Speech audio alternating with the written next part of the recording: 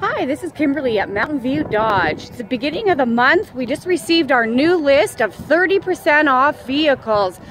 We have trucks and a few vans, so if you want more details, come on in and see me. It's too cold out here to stand here and tell you everything about all these amazing trucks.